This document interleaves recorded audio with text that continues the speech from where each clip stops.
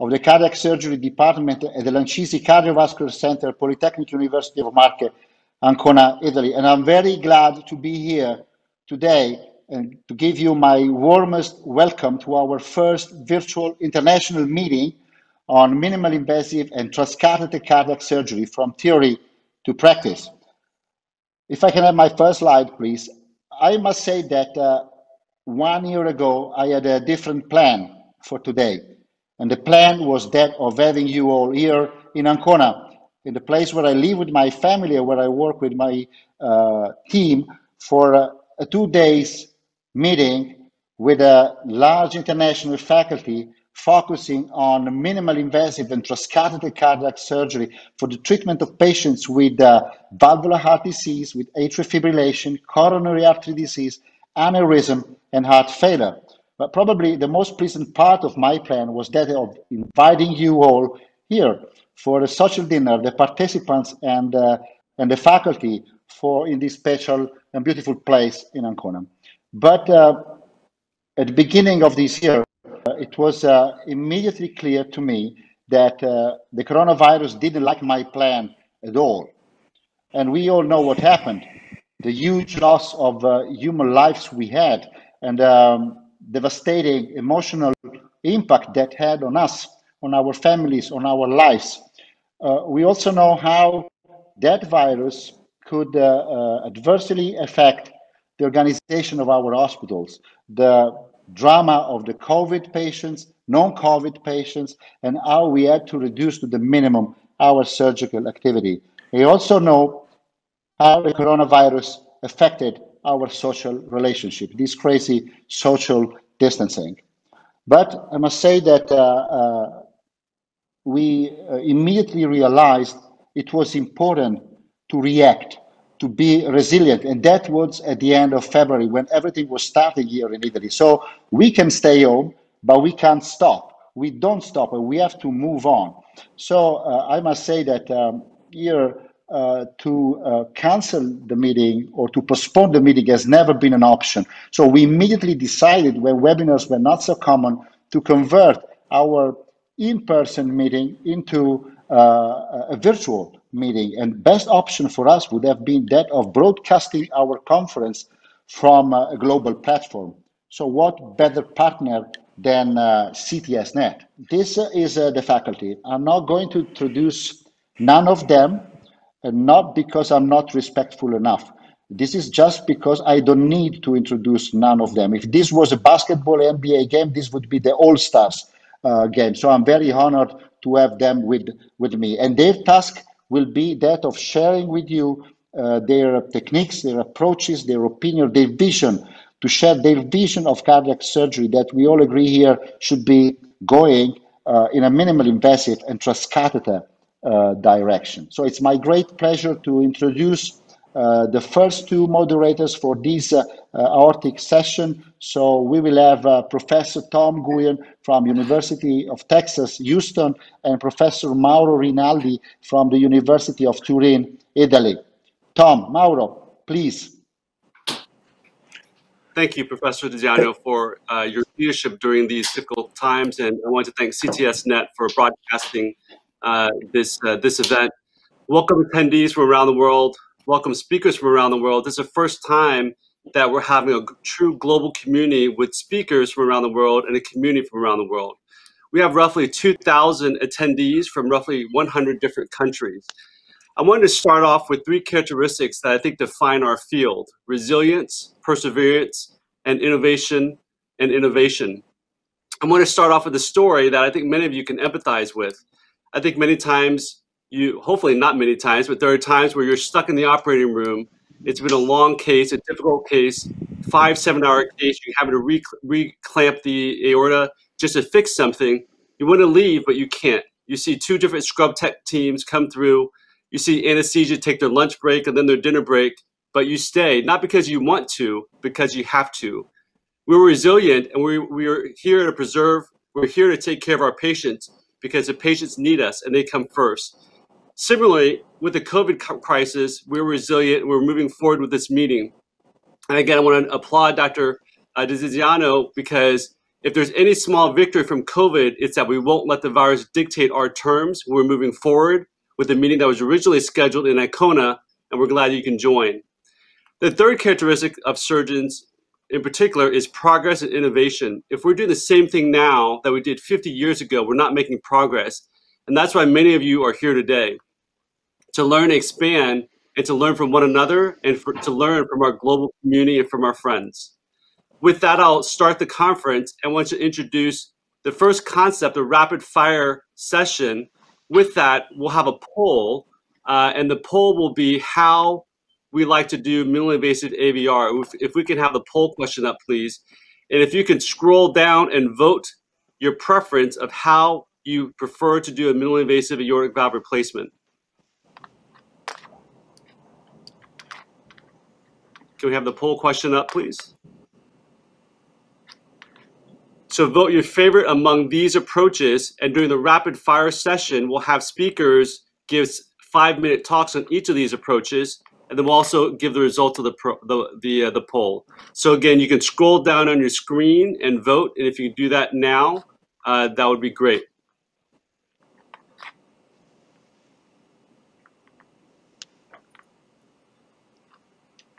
And the concept of the rapid fire is five minute, very concise presentations on a particular topic.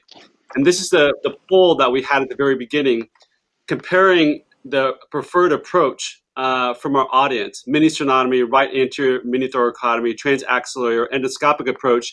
And it looks like from the poll beforehand that the preferred approach is right anterior mini thoracotomy. And the transaxillary, endoscopic, and mini sternotomy are relatively equal at roughly 20%. So with that, we'll move on with our next speaker from Sydney, Australia, Australia, Dr. Tristan Yan, and he will talk about mini sternotomy, why he does it that way. Dr. Yan. Thank you, Tom. Can you hear me?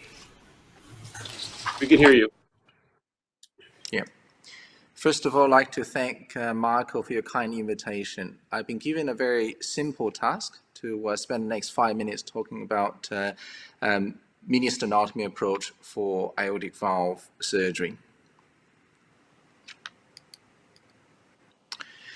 Let's get some basic points out of the way. Um, I think mini sternotomy and mini thoracotomy both are very valid approaches for isolated aortic valve replacement. So cardiac surgeons should be familiar with both approaches and use them interchangeably. The mini sternotomy is a very versatile uh, technique not only for uh, aortic valve replacement, but also it can be done for complex operations such as aortic uh, root operations, ascending aortic operations, and uh, aortic arch surgery.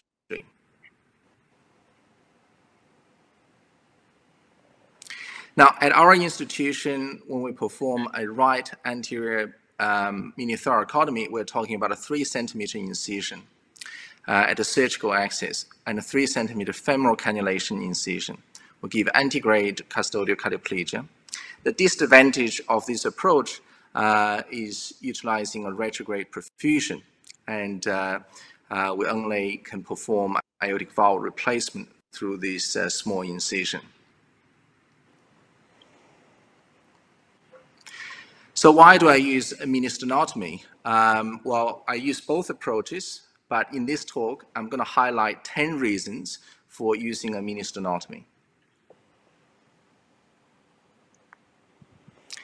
Number one, it is safe and reliable.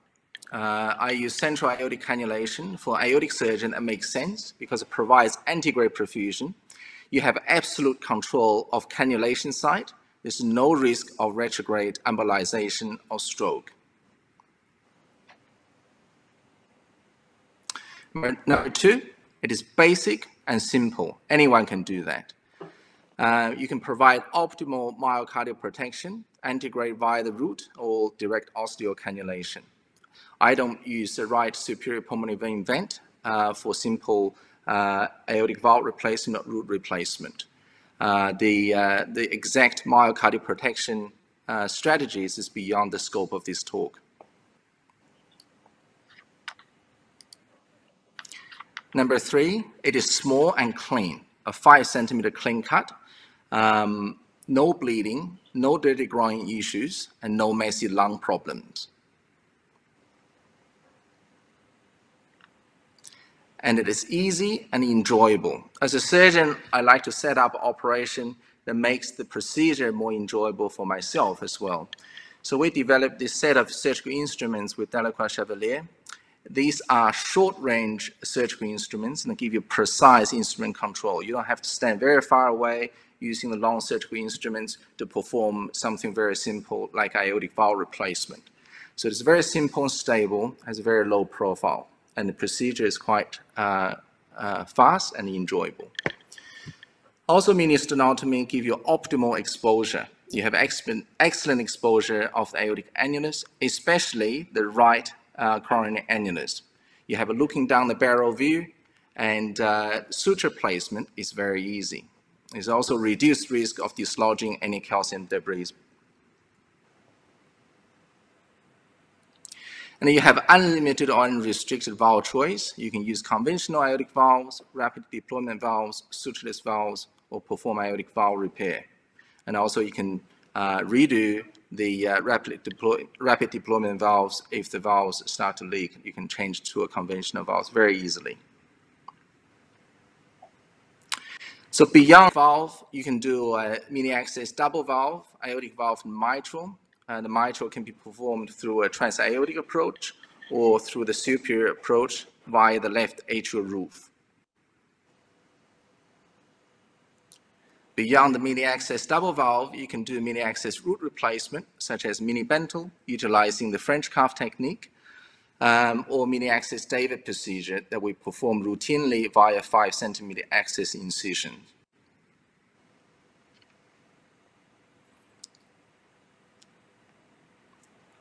And beyond the mini access root replacement, going back one slide, beyond the mini access root replacement, you can perform mini access hemi-arch replacement through a mini sternotomy, utilizing moderate hypothermia antegrade cerebral perfusion, um, which is very simple, safe, and direct via this approach. And further than that, you can perform mini-access total arch and frozen elephant trunk through a mini sternotomy incision, utilizing branch first technique, zone 2 arch anastomosis, and a Thoraflex hybrid graft, Thoraflex hybrid graft deployment. As a matter of fact, we uh, published a whole issue on this uh, and uh, this month's Annals of Cardiothoracic Surgery, highlighting the techniques of frozen elephant trunk, utilizing the mini-access incisions. So you can check it out.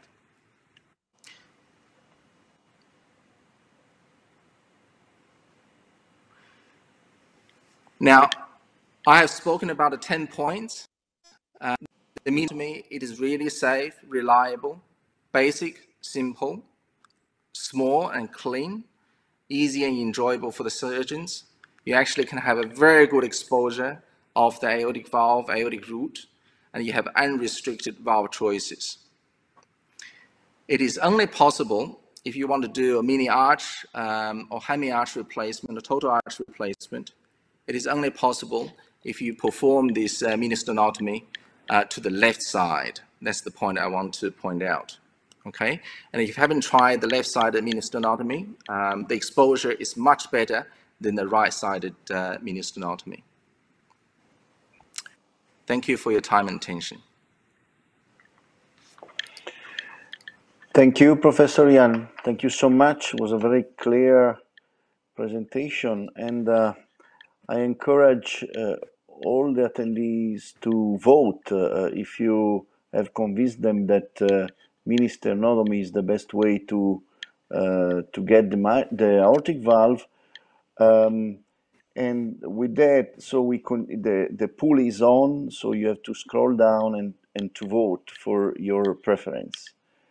And I uh, move on with the next speaker, which is uh, uh Dr. Marco Solinas. He is uh, chairman of cardiac surgery at Ospedale Monasterio Massa uh, Pisa, Italy, and he will uh, he will uh, keep up the point of uh, mini AVR, why is doing it with right anterior mini, mini thoracotomy.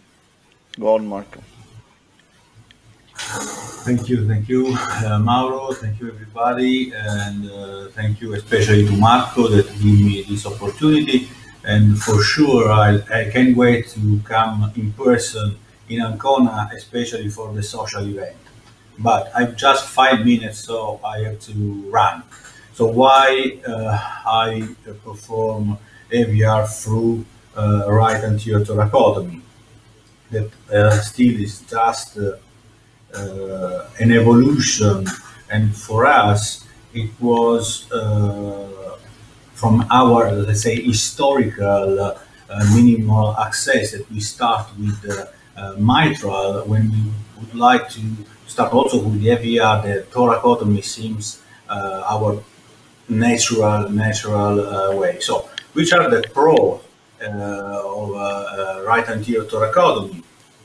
There is no sternal bleeding, so small pericardial incision and minimal manipulation of cardiac structure, and the, there is an easy and safe access to the ascending aorta, and this lead to a central cannulation. This is something that we uh, prefer if it's possible and is feasible also in redo cases. The concern about this, uh, uh, this procedure that uh, is uh, needed a plan, there is some imaging, especially CT scan, that help us to select patients. Cross clamping and the, to learn this, the, the for some people is, um, let's say, a difficult operation is needed a mentoring. But we, which is the rationale to perform a right anterior thoracotomy? Obviously, is to reduce the surgical trauma, and reducing the surgical trauma, we will have some uh, advantage that, uh, according also to our previous speakers, uh, nowadays we cannot just consider secondary. Um, and the, reducing the trauma, these are not randomized trials, are, these are experience, institutional experience uh, that compare linear AVR right thoracotomy versus full sternotomy. We can have also uh, an, an, advantage in terms of mortality. So also in the hard point, we can impact uh, our patients.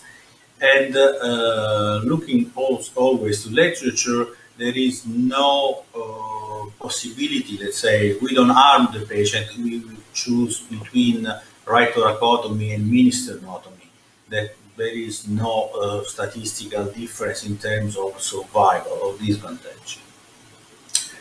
So uh, we can really think that in 2020 to take a CT scan uh, to our patient is really harming the patient.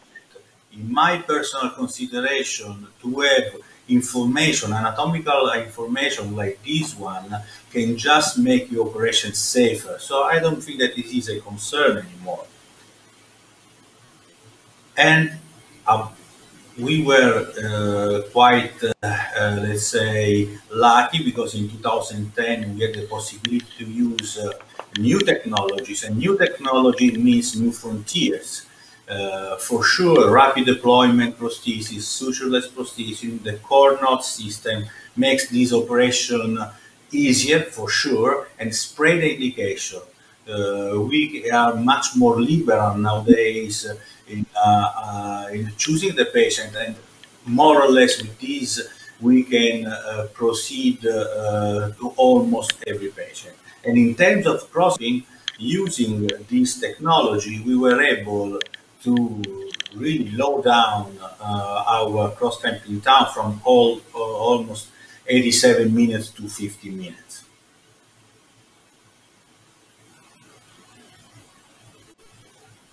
So, oh, excuse me.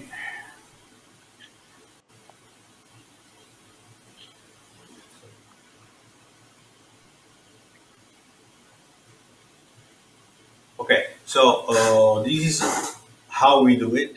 Uh, we do a a right thoracotomy in the second intercostal space, 90% of the time, very close to the sternum. And you can see that uh, if you need, you can also, you are not, uh, you don't need to sacrifice the uh, mammary artery.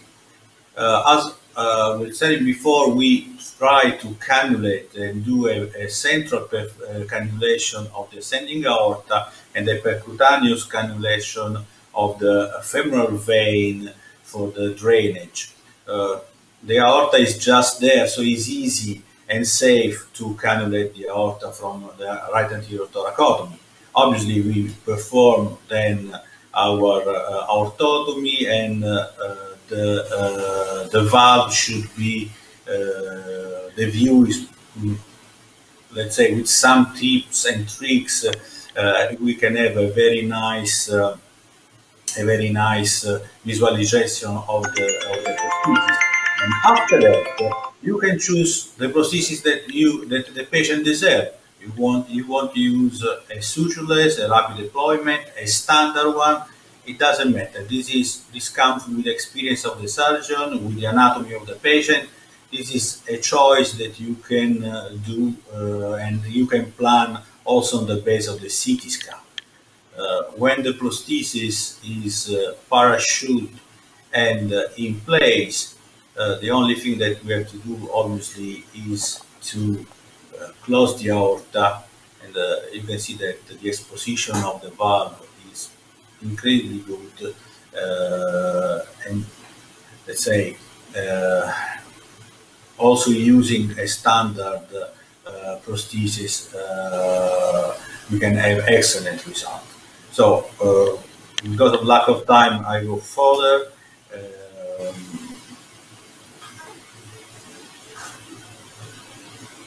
so this is the result after two months. This is from an aesthetical point of view. Also, if obviously transaxillary uh, could be also better than this aesthetical result. And I have to say the truth, I'm starting my program also here uh,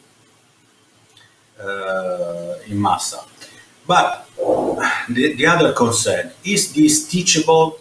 We have got make some uh, some study in our institution in terms of learning curve and transfer and how can we transfer the surgical skills to the young surgeon and with a teaching program this is feasible and the learning curve is very flat and everybody can do it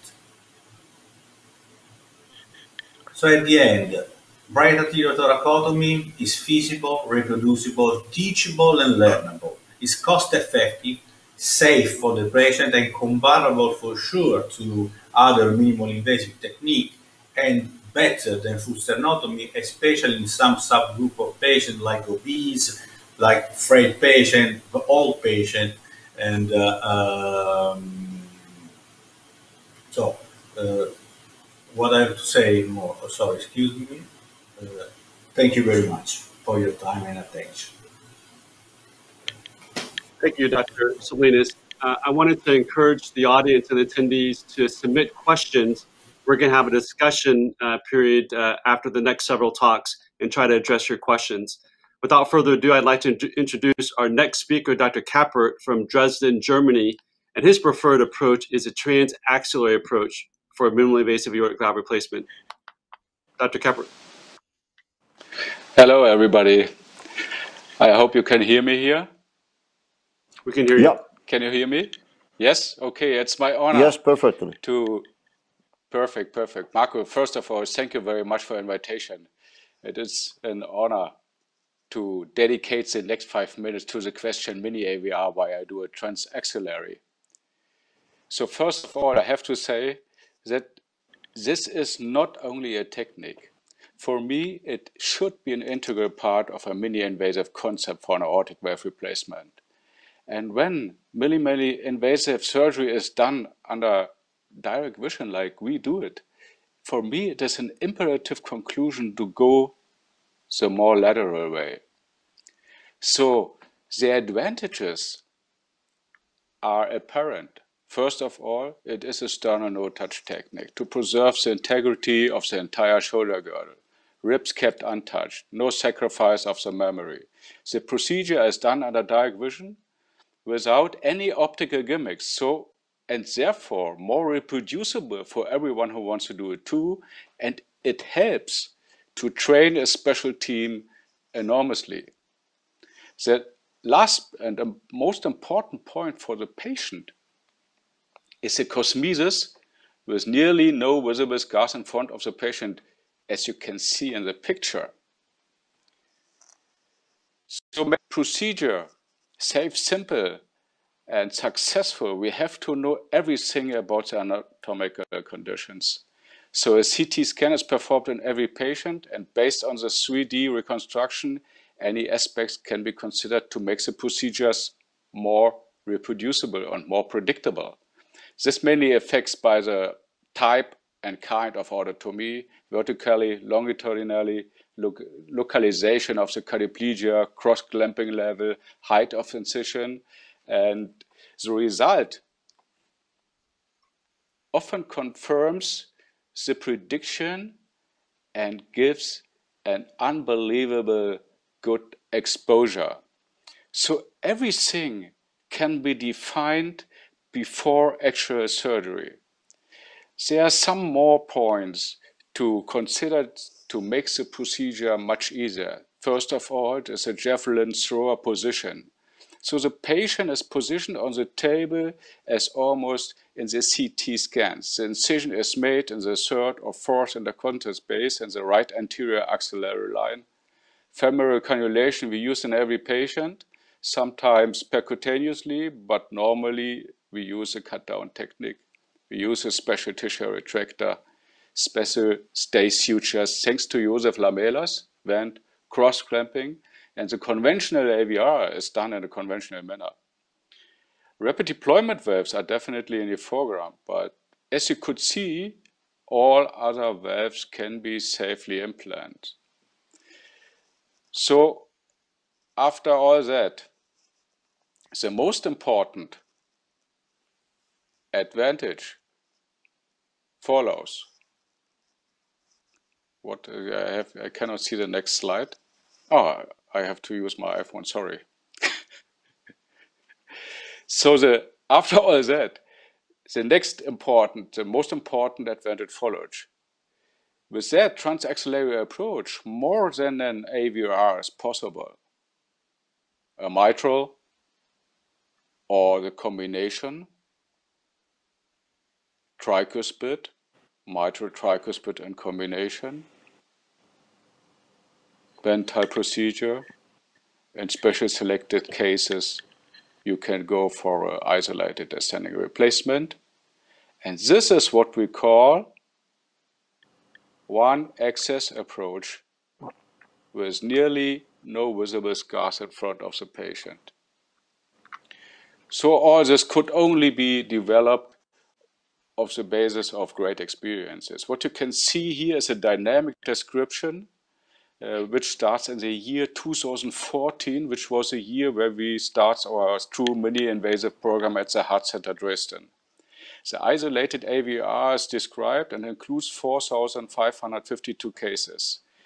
The trend is clear and shows a 95% share of mini-invasive aortic replacements or catheter-based implants in 2019.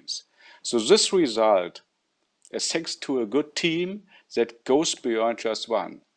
So I have to conclude this was only the tip of the iceberg. And as I said it in, the introduction, the transaxillary approach should not is not only a technique, it should be an integral part of a whole mini-invasive concept. And yes, yes, surgeons should be aware of their position and strength to be able to master all these techniques in their entirety. So thank you very much for the attention. Thank you. Thank you, Professor uh, Kappert. It was a very interesting presentation with this new way of approaching the aortic valve. Um, and um, I will move to the next presentation with uh, Dr. Salvador is presenting us the more I would say, the less invasive way to address the aortic valve. Uh, please, Loris, go ahead. Inviting me. This is a friendly uh, presentation, just uh, um, showing the uh, our technique, our style in Vicenza. So uh, why endoscopic? Oh, because integrating, uh, we think I arrived, I realized that integrating the latest technologies and the endoscopy, virtually all patients can be operated without sedation and for isolated or multiple valve disease. And uh, Vicenza, Vicenza is the town of Palladio. Palladian style was widespread around the Western world. So living, not living, working in the town, we decided to have our style. This is the setting for the endoscopy AVR in Vicenza. It's quite simple. There's a working port, a bed line, a thoracoscope, and the aortic clamp. And the key points are the screen monitoring, indirect vision, no rib resection, and um, the right mammary sparing. In, the, in our uh, protocol, no CT scan is mandatory and we make no selection with patients. So um, uh, this is uh, the uh, Vicenza style. No, this is not minimally invasive. In our, in our opinion, this is the uh, style that we uh, adopt in Vicenza. So from here to here, the step is quite small. And let's go with a few very short movies.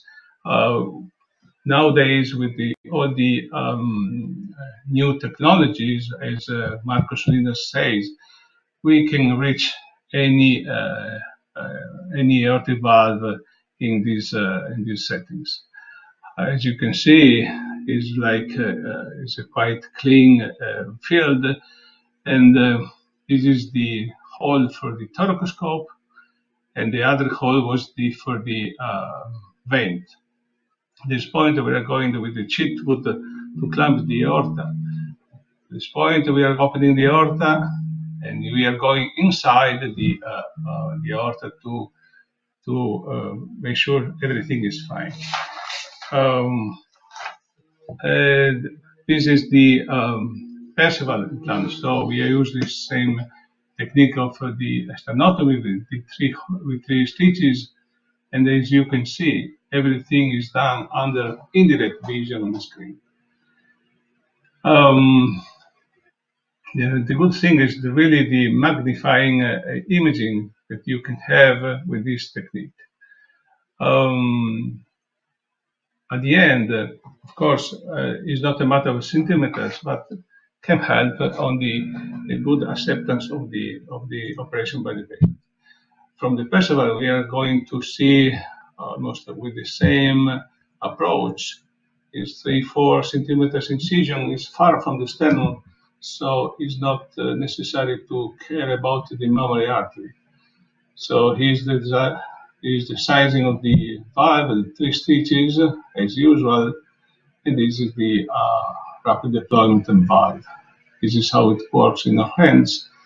And uh, uh we think that uh, with the endoscopy, we feel comfortable because we don't pay attention about the uh, I mean the the closet space. This is the final check, and from here is quite uh, intuitive to go in the next step, right? Uh, because we are familiar with the endoscope. This is the triple valve replacement through the same incision is left uh, atriotomy. In this case, we perform the repair. And uh, this is the uh, water test for the mitral. Then we went to the uh, tricuspid valve. Okay, nothing to say, just to put a ring. Okay, and uh, the next, of course, is um, for the aortic valve replacement as you could see, uh, could see in the next in the previous video. In this case, we put in the aortic position the uh, the deployment valve. So uh, quickly, what can I say? Uh, the the, this technique, the endoscopy, give us the opportunity to have a, uh, a good uh, uh, dominion of the situation. This is the uh, nice thing that you can check if the after deployment bioprosthesis is sitting very well on the on the aortic valve. And um, going ahead, of course, uh, with this endoscopy uh, technique, uh, we tried in the beginning. This is the more, I'm sure that it's a movie for only the uh, ascending aorta replacement, but usually uh, we do uh, aortic ascending aorta replacement concomitant to the aortic valve replacement. This is very strange case to find only aortic valve, aortic, uh, aortic, uh, ascending aorta replacement, but it's good the movie, so I proposed it to you. So uh, this point, what can I say? Endoscopy is a, of course, is a long way. It's not uh, easy.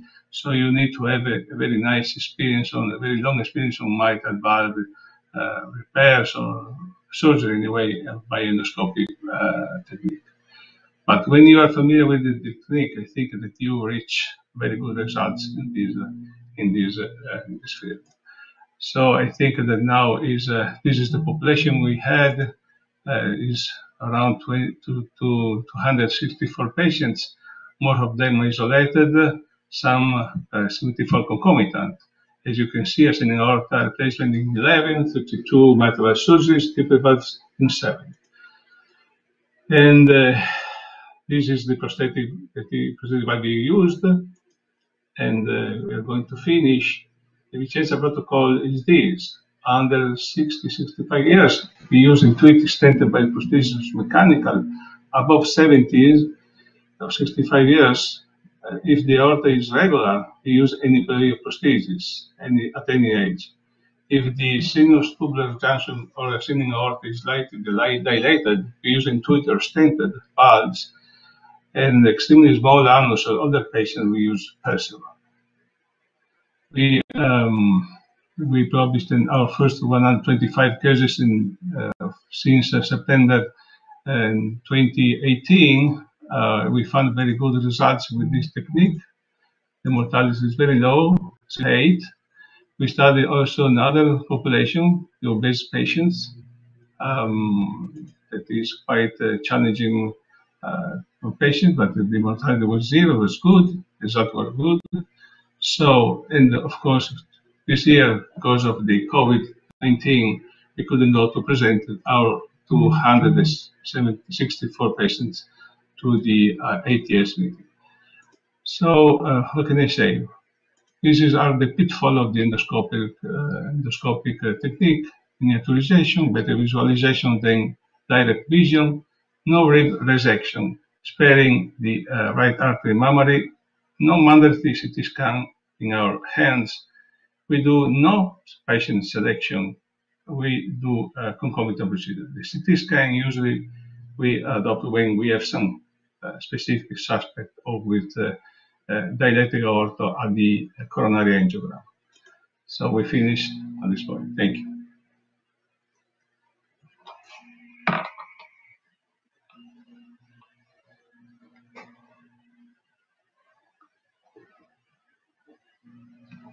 to the pool, or uh, what? What do you think? Or maybe we yeah. should start the discussion afterwards. Okay. Sure. Uh, I think uh, if we can, so what we did was we had a baseline poll to see what the audience thought about their approach. If we could pull up the poll question again, and uh, this is after everybody's uh, presentation, and it looks like um, there's a strong preference for mini. Oh, no. Great. a, a huge from before and after. It's very interesting.